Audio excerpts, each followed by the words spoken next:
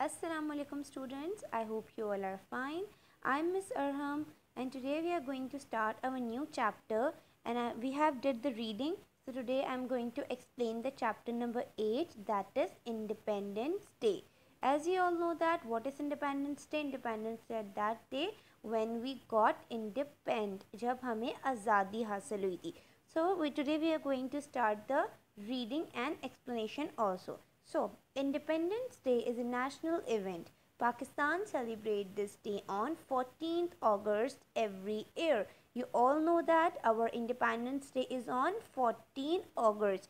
14 अगस्त 1947 को पाकिस्तान आज़ाद हुआ था ठीक है it is the day when we got our beloved country ये वो दिन था जब हमें हमारा प्यारा वतन पाकिस्तान हासिल हुआ था this day is celebrated with great zeal by Pakistan childrens enjoy a lot on this day. This event is also celebrated in schools.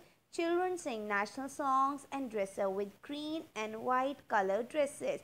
So, हम इस दिन क्या करते हैं इस दिन को हम बहुत प्यार और मोहब्बत से एक दूसरे के साथ बांट कर और ख़ुशी के साथ मनाते हैं हम स्कूल भी आते हैं, स्कूल में फ़ंक्शंस भी होते हैं। इसके साथ साथ हम जो है नेशनल सॉन्ग संग करते हैं और क्या करते हैं वाइट और ग्रीन ड्रेसेस पहनते हैं। आप लोग यहाँ देखें ये भी स्टूडेंट्स ही हैं जिन्होंने अपने स्कूल फ़ंक्शन में वाइट एंड ग्रीन ड्रेसेस पहने हुए हैं और इस तरह से हम अपने स्कूल्स को, अपने एरियाज़ को डेकोरेट करते हैं। ये सब करके हम क्या दिखाते हैं? हम दिखाते हैं कि हम अपने वतन से कितनी मोहब्बत करते हैं और यही हमारी पेट्रियाटिज़म को भी शो करता है। ठीक है? Next is Pakistani also decorate their houses with flags and paper flags हम अपने घरों को भी डेकोरेट करते हैं, पाकिस्तान के फ्लैग से और इसके साथ साथ जो पेपर फ्लैग्स होते हैं, उनसे भी।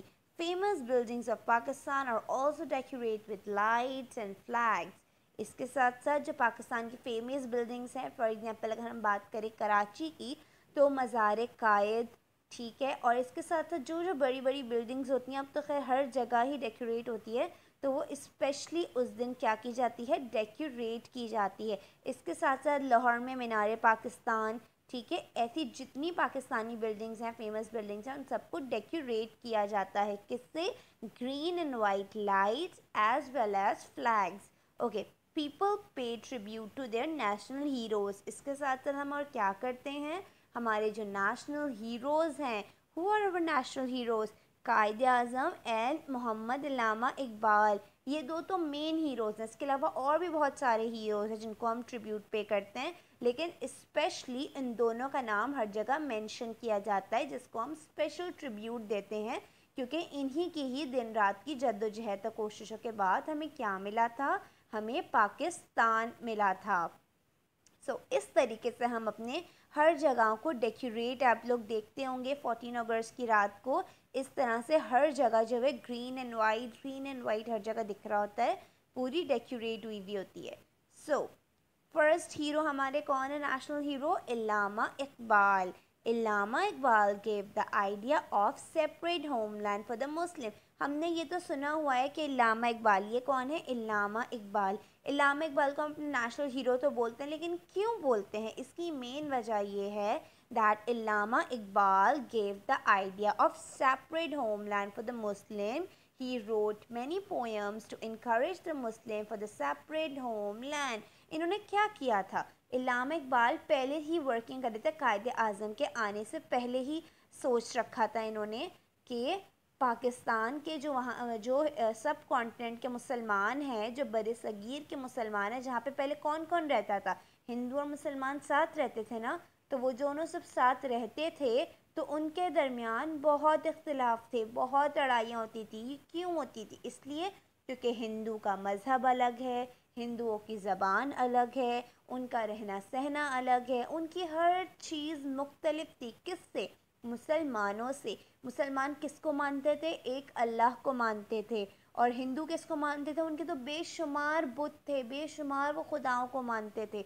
फिर मुसलमानों की ज़बान क्या थी? उर्दू थी और हिंदुओं की ज़बान क्या थी? हिंदी थी। फिर हमारे कल्चर्स बहुत डिफरेंट है, हमारे ड्रेसेस डिफरेंट थे और कुछ हिंदू ऐसे जो वाई मीट नहीं खाते, गोश्त नहीं खाते और मुसलमान गोश्त भी खाते। तो ईच एंड एवरीथिंग हर चीज़ क्या थी? मुसलमानों की और हिंदुओं की मुख्तलिफ़ थी। तो उनका एक साथ रहना बहुत मुश्किल था। तो इस चीज़ को कायदे, इलामा इकबाल ने रियलाइज़ करवाया कि मुसलमान और हिंदू साथ नहीं रह सकते। तो उन्होंने ये आइडिया दिया था कि मुसलमानों को अपना एक मुल्क बनाना है, जिसमें वो ख़ुद आज़ादाना तरीके से रह सकें। जैसे आज इन्हीं की ही बेशुमार जदोजहद के बाद हम अपने मुल्क पाकिस्तान में आज़ाद रहते हैं।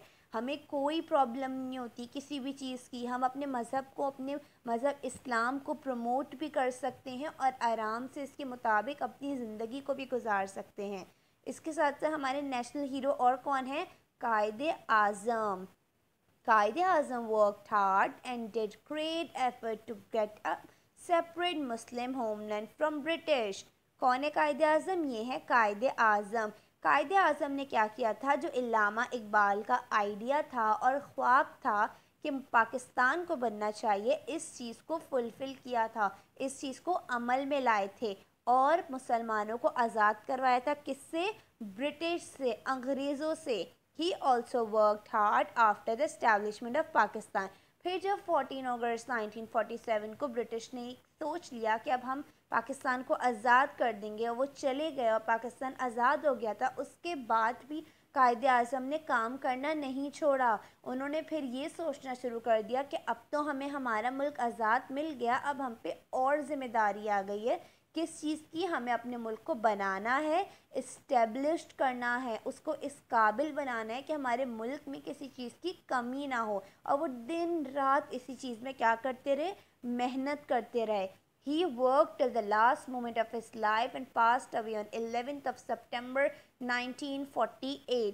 और वो दिन रात इसी चीज़ के ऊपर काम करते रहे और उन्होंने अपनी आखिरी दिन, आखिरी साँसें भी कामों में गुजारी और फिर एट दी एंड वो बहुत बीमार हो गए और फिर उनकी डेथ हो गई कब? 11 सितंबर 1948 पूरे एक साल के बाद, पाकिस्तान बनने के एक साल के बाद कायद अज़म की डेथ हो गई थी। May Allah bless our sacred land आमीन।